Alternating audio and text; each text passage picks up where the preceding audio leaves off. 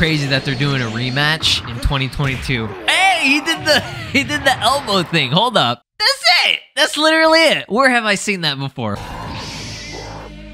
It's literally exactly the same, bro.